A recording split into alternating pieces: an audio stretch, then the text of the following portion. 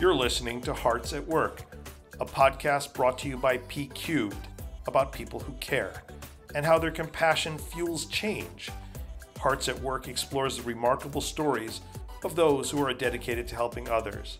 Get ready to be inspired.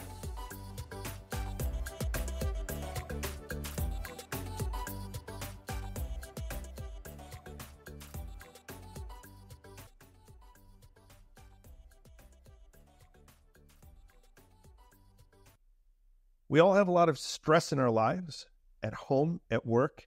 It doesn't matter. There's always something in today's busy world to grab your attention, to take your time, kind of knock you off your game. You start the day a little tired, you have some coffee, juice yourself up, get ready for work.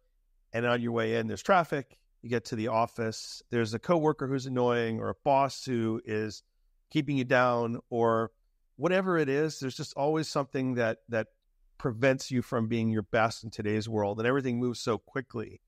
That is my segue into life coaching, which to me was a mystery until I took a course and got certified in it last year. I'm Adam Najberg, a former Wall Street Journal journalist and uh, now part time life and career coach. And I'm very new to this game. And I respect my elders in terms of those who came before and one of those happens to be Richard Taliaferro, who I had the pleasure to work with at the Wall Street Journal for a number of years. Great journalist, diligent, awesome writer, great ideas. And I reconnected with Richard recently to talk to him and discovered that he was now making a career of life coaching. And you guys are here to hear about Richard and life coaching, and we promised that Richard would demystify it for you. So let's get to it. Richard, I, have given a little Reader's Digest version of your bio. I first want to thank you for being here. Thank you so much. Thank you for having me on, Adam. Appreciate it.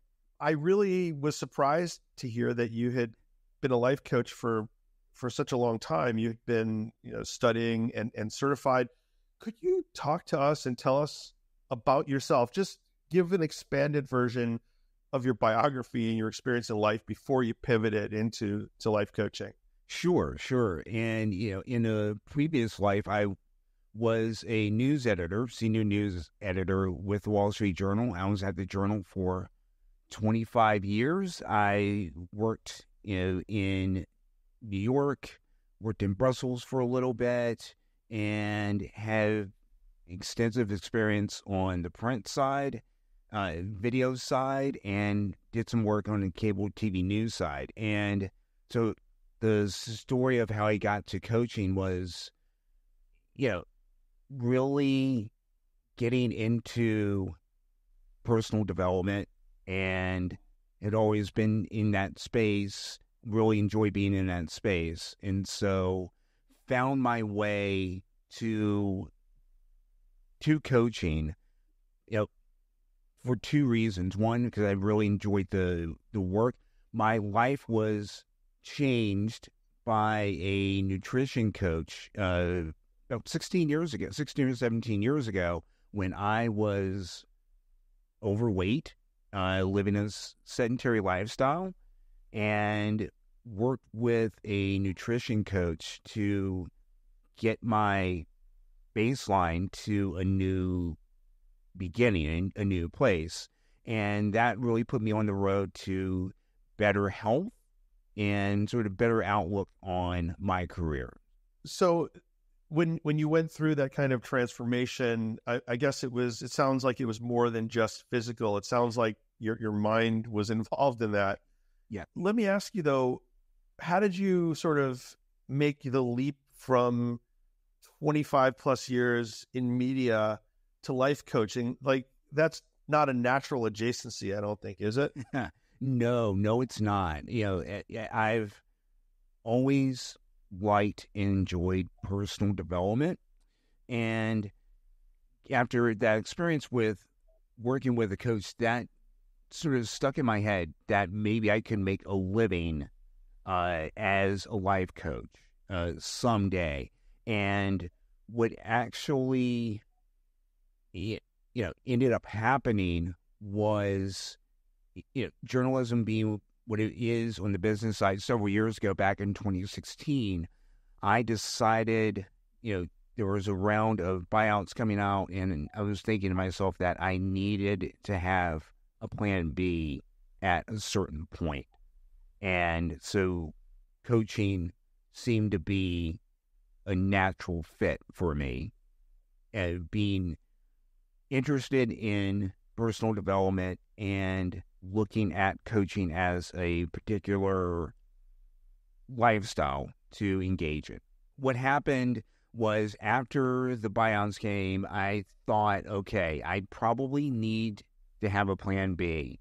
And so I started investigating other school, you know, life coaching schools, found a good school that I could that was a good fit for me. Um, called it was called the Life Coach Institute. Uh, sorry, the Health Coach Institute, and started working with them. Found a good program with them, and really spent about eight months getting my health coaching certification. Um, you know, as I was working at the journal, uh, I would do my uh, certification lessons during the evenings when I came home from the office. I was working with um, partners uh, throughout the you know, throughout the country uh, as we were going back and forth and learning lessons together, and I got the opportunity to actually do the program, you know, deliver the program to two practice clients, which was an enormous help. Can we scroll back a bit? I just want to unpack this for sure. listeners. Uh, first, how do you find a life coaching school? I, I, mean, when I open Google, for example, I you know you can find anything on Google, but three quarters of it are sponsored ads or sponsored content or promotion or something.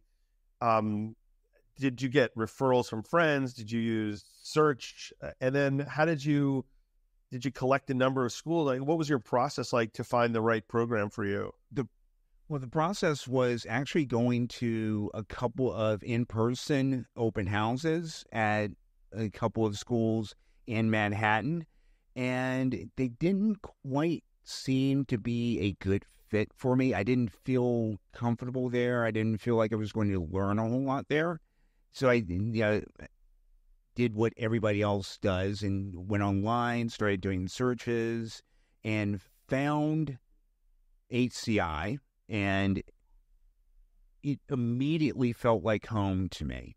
They were invested in not just producing great coaches, but also enhancing your personal development at the same time. And so it felt like home to me working with them. So I've got to ask this question though, because you and I and some of our listeners have worked in the same Wall Street Journal newsroom where even the nicest person has a dorsal fin. It's tough. You know, yeah. like it's like playing for the Yankees or yeah. Manchester City. I was going to say Manchester United, but they've kind of sucked in the last last few years. But, but, and then you go from that to this like real touchy feely environment that you know you talk about feels right. I. I I'm still kind of missing the connection between how a journalist moves from that environment where you're only as good as your next scoop. Yeah. To slowing things down and and kind of trying to focus on getting people to perform better. You know, it's it's just I don't know. I don't see the obvious connection to it. Why was that something that you said, "Gee, I, I think I should try to do this"? You know, I I've always been someone who's been keenly interested in personal development outside of the office. And you're right. It's not you they don't seem to go together, but I didn't let that stop my curiosity of in in delving into, you know, those touchy feely subjects, you know, those crunchy granola types of things.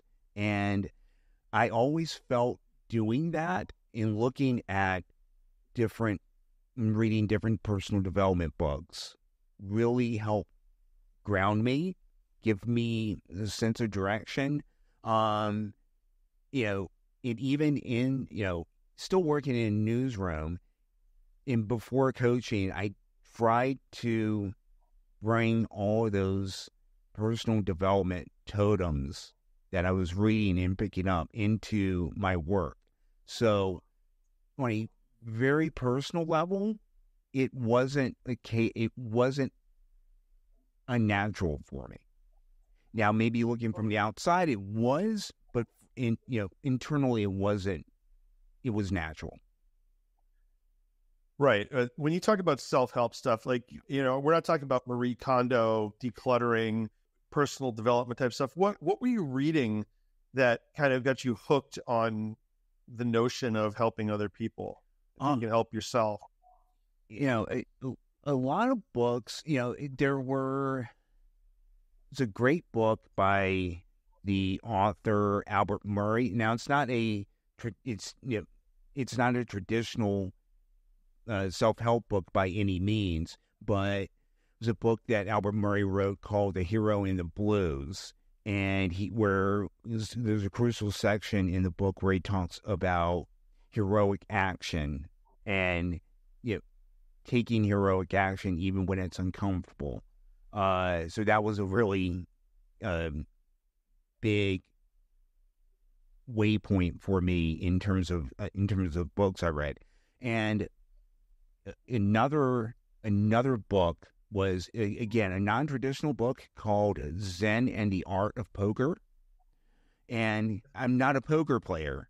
Okay, I don't have a poker face, but I think if you I felt reading that book there were life lessons in that book that went beyond just a poker table and a casino arena you know, I, I've always been someone who reads those types of books to look at putting those things into action. And So that's and that's what I'm looking for in books in books like that, podcast is things of that nature. So so you went from the Murray and the other books, yeah. the poker book, mm-hmm. to podcasts um, you went into personal development, yeah. uh, the weight loss you talked about, changing a lifestyle, and you kind of found your way into some of these uh, open houses yeah. with life coaching sessions in Manhattan. And okay, we promised to demystify. So you picked what was called the Health Institute. Is that right? The Health, Health Coach Institute. Yeah. Health Coach Institute. Right. You picked that. Yeah. It it meshed most closely with what inspired you, I guess. Is that fair to say? Yeah, it's totally fair to say, yes. And then you start taking classes. You described it earlier as a an eight month process. So to demystify it for us, what do you do for eight months? Are you? I, am not making fun of this because I went through my own process, but uh, you know, I think some people think it's like chanting or brainwashing or lying down on a couch. And I know it's not. Can you talk through your experience? What did you, how did you become a life coach in eight months? It was learning different methods of coaching and really human behavior and what in what are the things that motivate human beings and go and learning how people are people you know we you know we learned that people are, in general are looking for three things. Doesn't matter who they are. Those three things are love, safety, and belonging. And so it in that and those three things drive the behaviors of what people do. So we learned a lot about that. Uh, there was, you know, one section where we learned about different. And again, going back, this is a health coaching uh, certification I was going through. So we learned a lot about the best ways to drink water, the best ways to have coffee, the best ways to have alcohol in ways that are healthy and are additive to your life. Um, so it, learning what?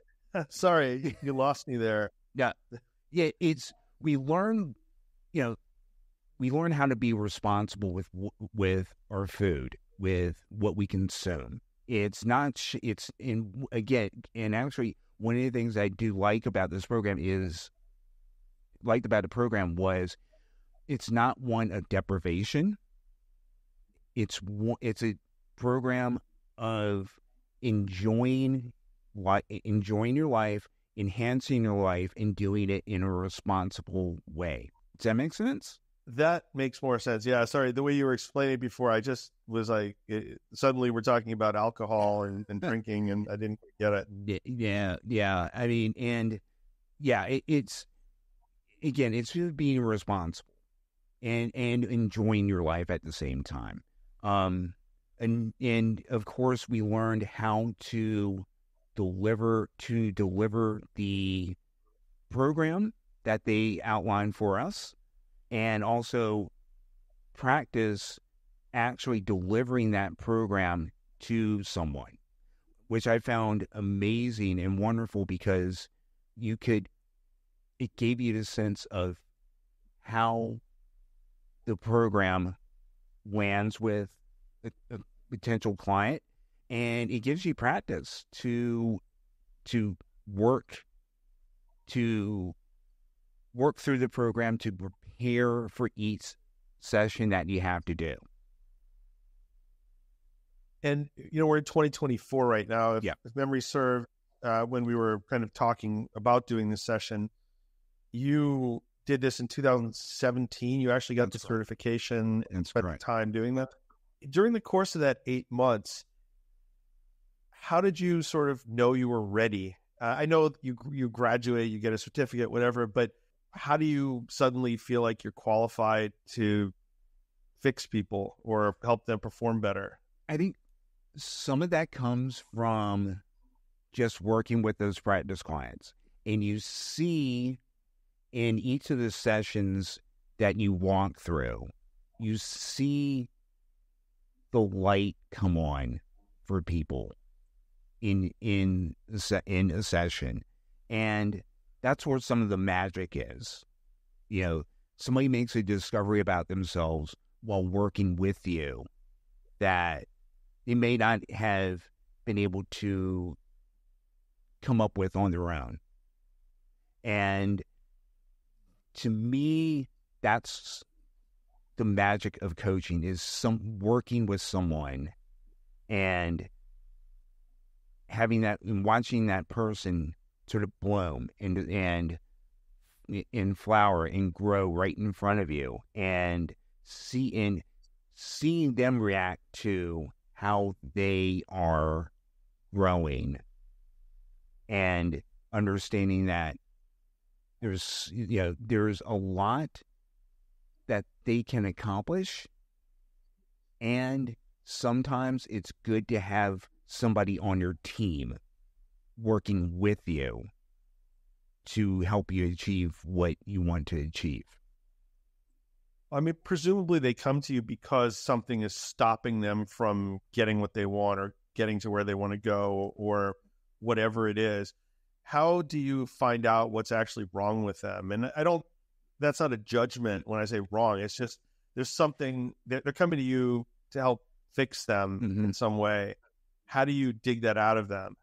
Well, it's well, okay. Well, let's take, for example, uh, weight loss. You know, we're two months into the year. We're two months past, you know, days of New Year's. You know, New Year's resolutions, and you know, somebody can come. Somebody who's been trying for years to lose weight, and every time you know, every time January rolls around, they, you know, they make the resolution to lose 10 pounds or 15 pounds.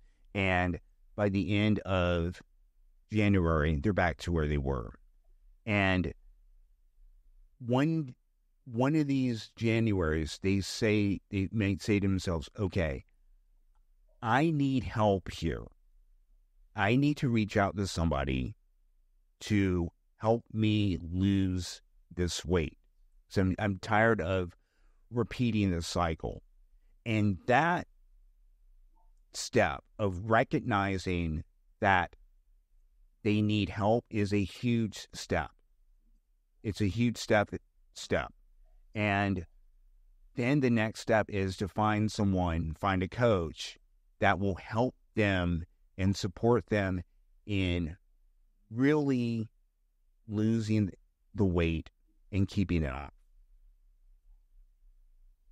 Right. So they, they come to you because they, they want to lose weight. They feel like they can't do it themselves. They think they need help, which is, from what you're saying, an important first step to recognize that you need it. Yeah. Um, when they uh, uh, do you coach them mostly um, remotely, or do you do so in person? How does it work? I mean, these days everything seems to be Zoom, right? It's yeah, in, indeed. I'm working with clients right now via Zoom, and I'm working with folks in the Mid Atlantic and working with folks in the Midwest. So it's really, it, yeah, it's co- the coaching that I do can be done from anywhere, and I can serve anyone anywhere through this. And, so yeah, I, I, I'm asking that partly because from being a journalist, investigative in some cases, mm-hmm. you and I both know that people are deceptive, and sometimes they don't even realize they're being deceptive. So they know they have an issue, they know they have a problem, yep. they want some help, they come to you, and they're not. Eh, you, you know, you need to pull out of them exactly what the blockage is. I would guess. You know, is it that they're hiding a box of Twinkies under the bathroom sink, or that they, you know, they're binge eaters at night, or you know, I guess. Let, let me ask you in a more direct way. Sure how do you find out specifically why they can't do that?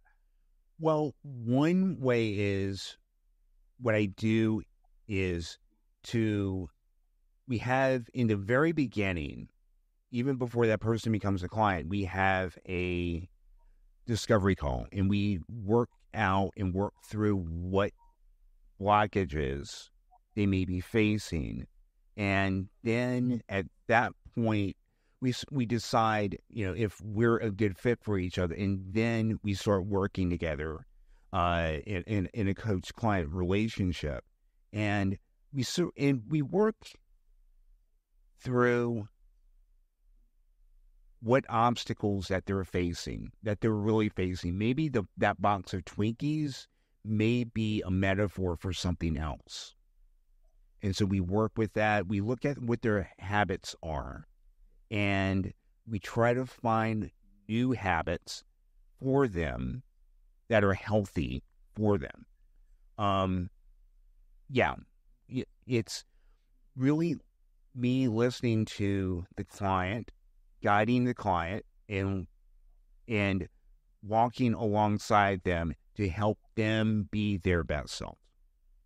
But are you you know, you went through eight months of training. Mm-hmm. So presumably, from the way you described it, I'm assuming there's some kind of overarching system or methodology. When you hit the clients um, and, and they're sitting in front of you or in front of your screen, are you working a program or coming off of a script or like how are you kind of going through the process of discovery about that blockage and getting them on the path to to actually understanding what's wrong and and how they can overcome that. Sure. Um i do have a script or an outline for each of the 12 sessions that we go through. Um and there's you know a specific order that i want to take the client through in terms of say if we've been working together for a couple of weeks we we look at you know, in the beginning of the session, we look at what went well for them the past week.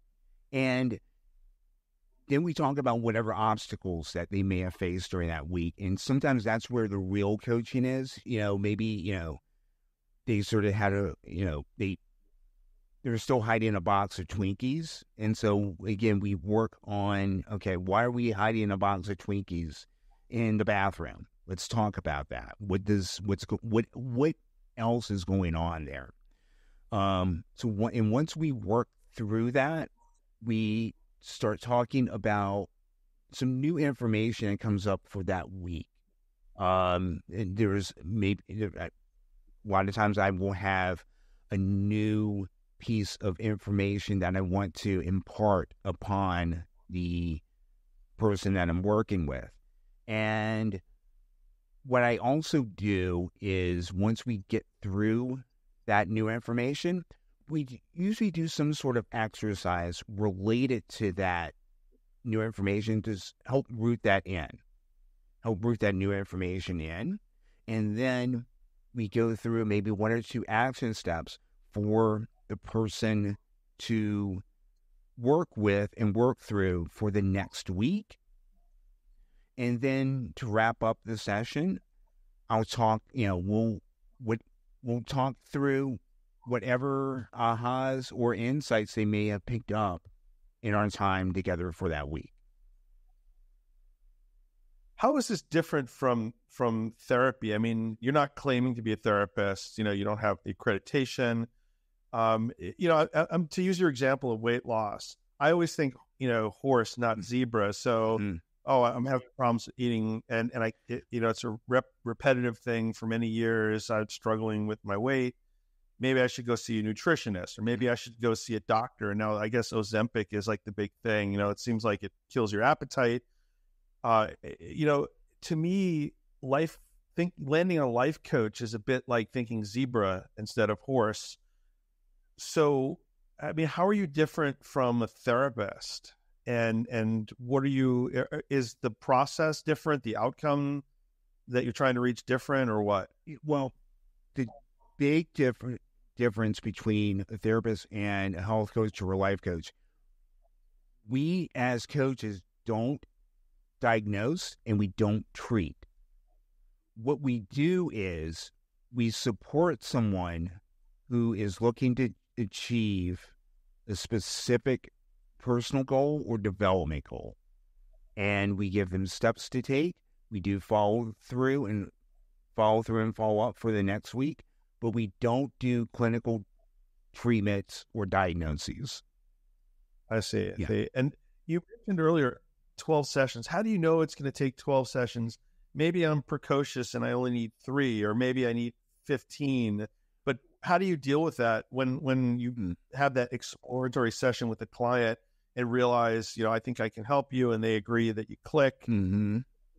Yeah. At that point, are you asking them to commit to something? I'm asking both from a a sort of uh, you know clinical problem issue, but also from a pragmatic money issue. Sure. Um, you know, because I'm assuming that that you know you studied this, you spent money to get the accreditation. It's now going to be your job, so you you know you need to put food on your table, right? Right, right. And the way the my program works, it works best over a period of time. It, it's not really three weeks and out. Um, because what what what I'm doing with clients is me is helping them change their habits, and some of those habits don't change over two or three weeks. All right, it's you know, it, I don't want to have a case where a client comes in, they go, come in for a week, and then they disappear thinking that they've got the, their problem solved but then they come back a few weeks maybe a few months later and we're back to square one. And so i lead I, yeah, I lead a 12 week program because it takes time for those new habits to take root. And so I want to work with my client you know, keep tabs on my client, support my client as they are going through this habit change. You know, so in some instances, this might be the first time that someone's been on that's who's worked with a coach. And so I want to make sure that I'm guiding them properly to the changes that they want to make. I, see. And just to kind of recap a bit, uh, someone comes to you, you click, you you say to them, "I'd like a commitment of, you know, twelve weeks for the program is ideal."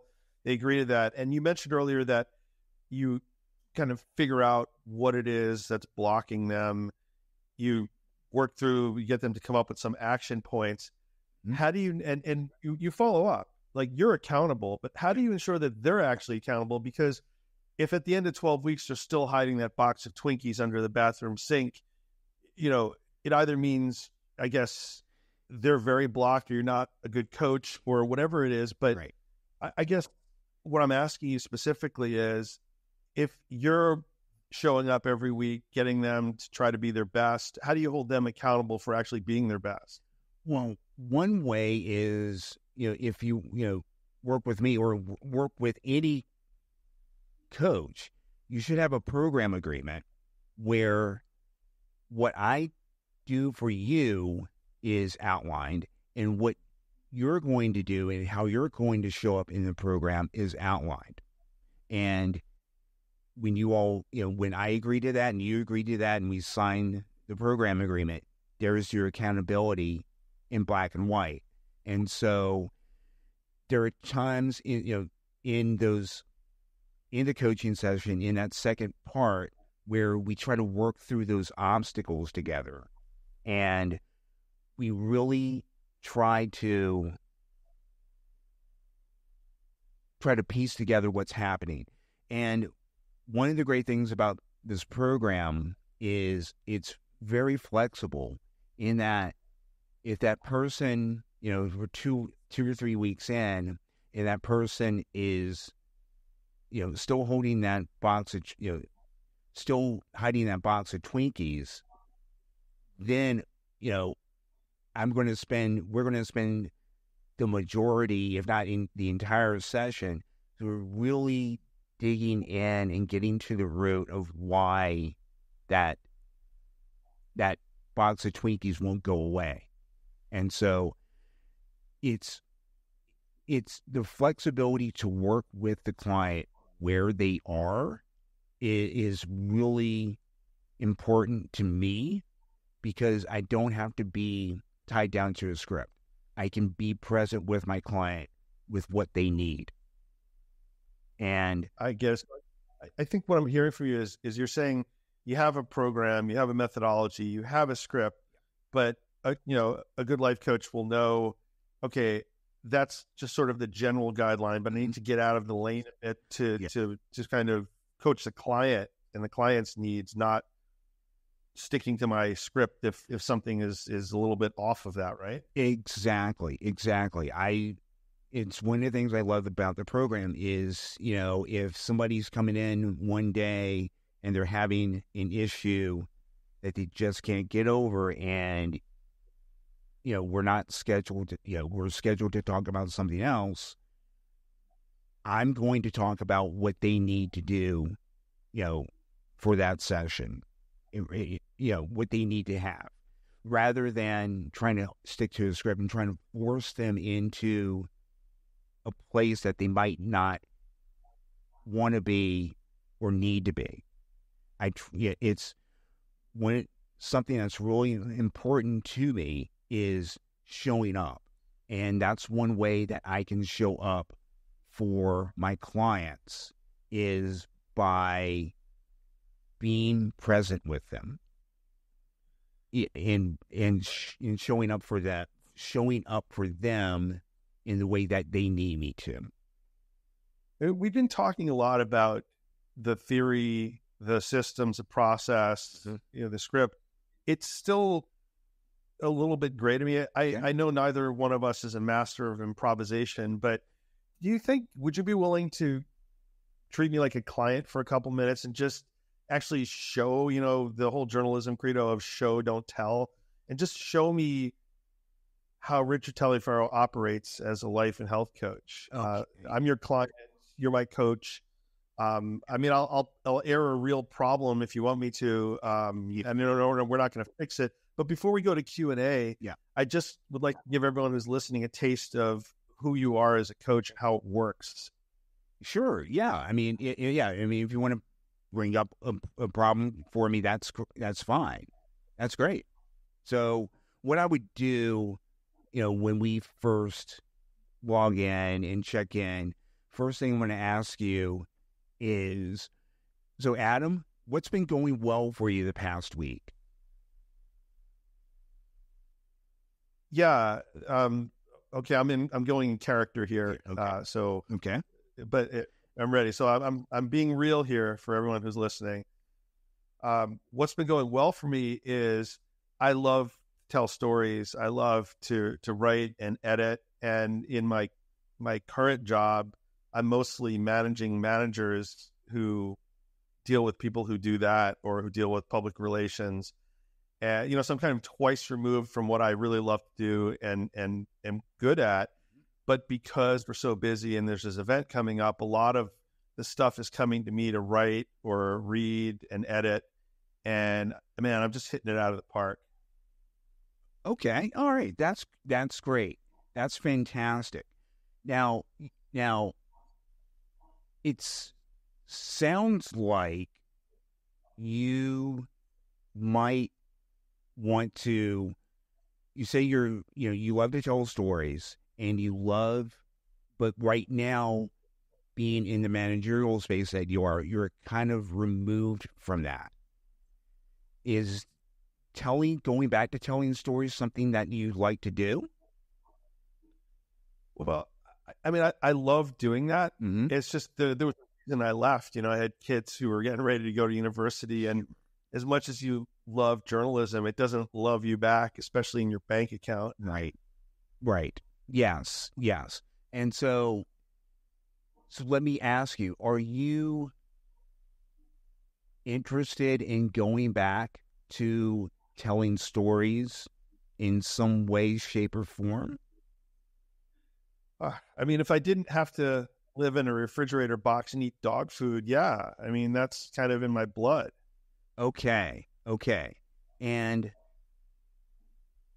and what time frame do you have in your mind to go back to writing stories and telling stories? Yeah, I mean, uh, it, it's not like I have a lot of road left in front of me. I'm I'm kind of old now, and and I think, you know, I think of everything as a gig of 18 months or so. So I, it's probably fair to say, like, if, if I wanted to really do this, I'd have to think, what does the world look like 18 months from now? Like, how could I put steps in place to to do that over the next year and a half? Okay. Okay. And now you you just mentioned the steps that you would have to take. What steps can you take in the direction of telling stories in the next 30 days that will help you be propelled in that direction? Uh, so, I one of the things that that I think I I was good at, and you were good at, a lot of journalists are good at, is is building sources, and they become part of your network. I think probably reactivating my network and letting them know that I have this attention because it's probably going to be like you know this top hundred people you know who are going to open some door for you just from experience, as opposed to like spinning the wheel and getting lucky, right? Right, right. Now, let me ask you are there five people in that list of 100 that you could reach out to in the next week?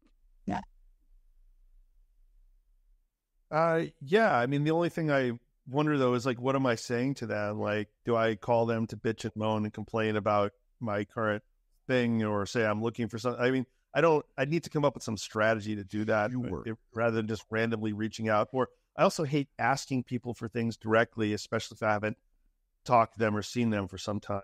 Sure, sure. How about this?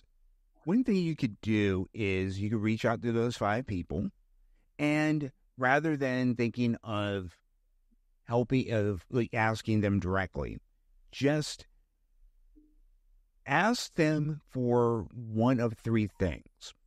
Yeah, you could ask them for advice, you could ask them for insights, and you can ask them for recommendations for the next steps that you want to take at, in your storytelling journey. How does that sound? I think that's reasonable. Uh, I, you know, I probably would, being me, probably want to just make a, a list of, of, bullet points so that I stay on track. I, you know, once once the conversation starts with them, it'll be organic. But I think beforehand, I probably need to do some prep work. Sure. And how difficult would that prep work be for you? Well, I, I, mean, I was just bragging about how I, I, you know, I'm a really good writer. I love to write, and so uh, I, am going to say pretty quick. Uh, I just need to carve off the time to do it. Okay, okay. And can so when we meet again next week, um, let let so let's when we meet again next week, your action steps are going to be taking, you know, reaching out to those five people and asking them for those, their advice, insights, and recommendations. And we're gonna and we can talk about what what feedback they gave you. How does that sound? That sounds achievable, actually. Um, Richard, can we can we yeah. stop it here? Sure. Um, yeah. Jump character. Yeah. You know, okay. give you a a plus. Actually, you know, it's funny because I, you know, I went through eight months as well of, of life coaching mm-hmm. and, and it was similar, but you're actually really good at this. I mean, I, I found myself actually sharing with you and you were putting me on the spot and forcing me to, and, and I didn't feel uncomfortably forced, but I felt like yeah.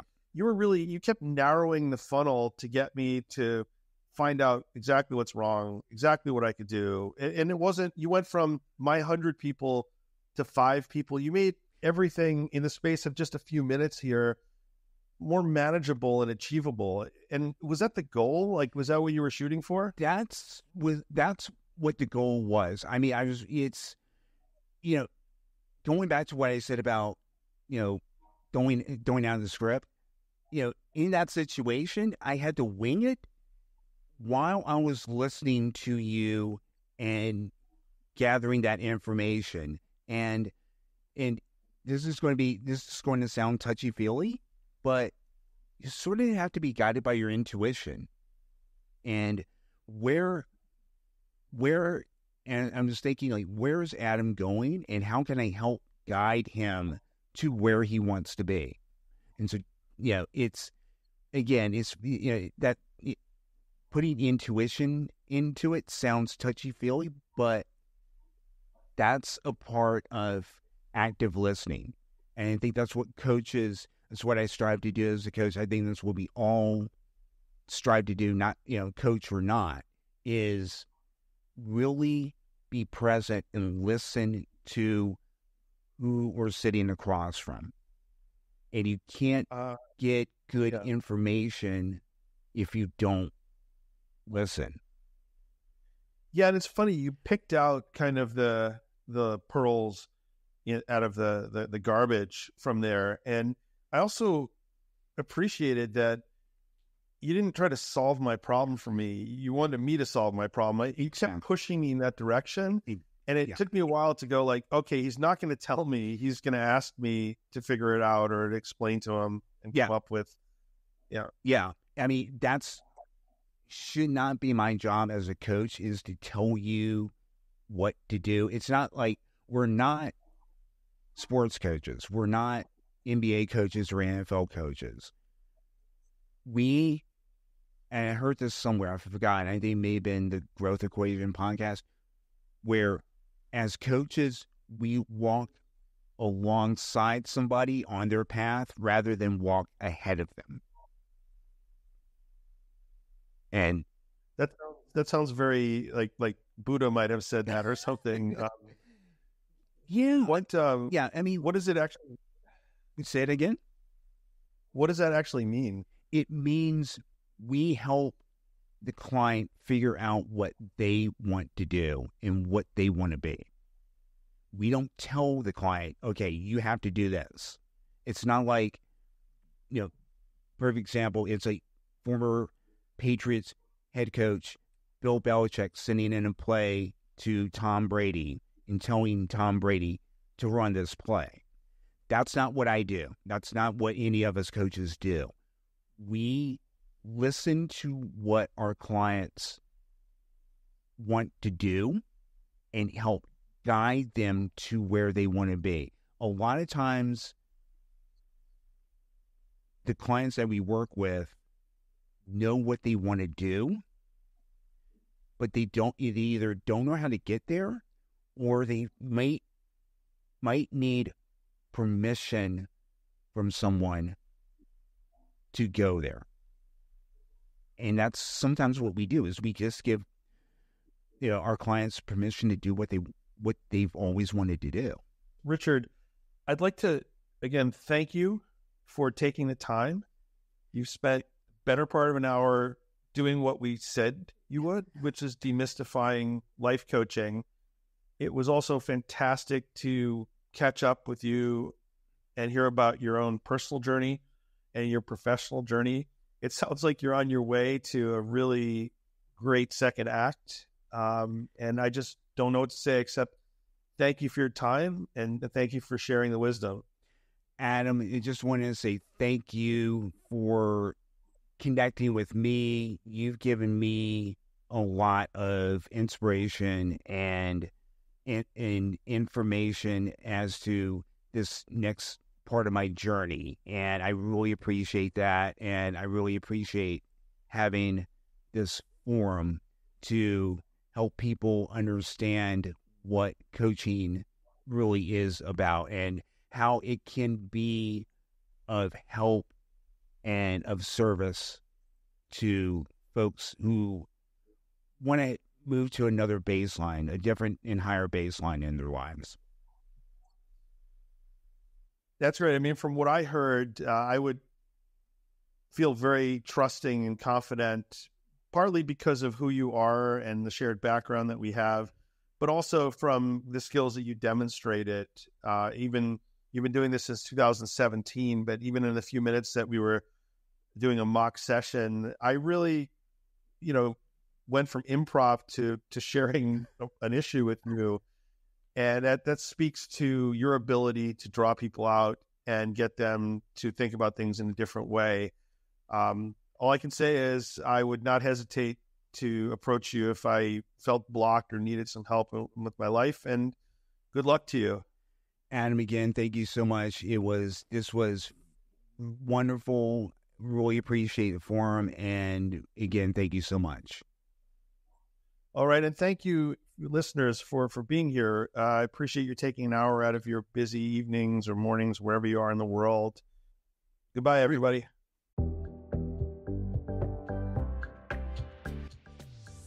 You've been listening to Hearts at Work, a P Cubed production.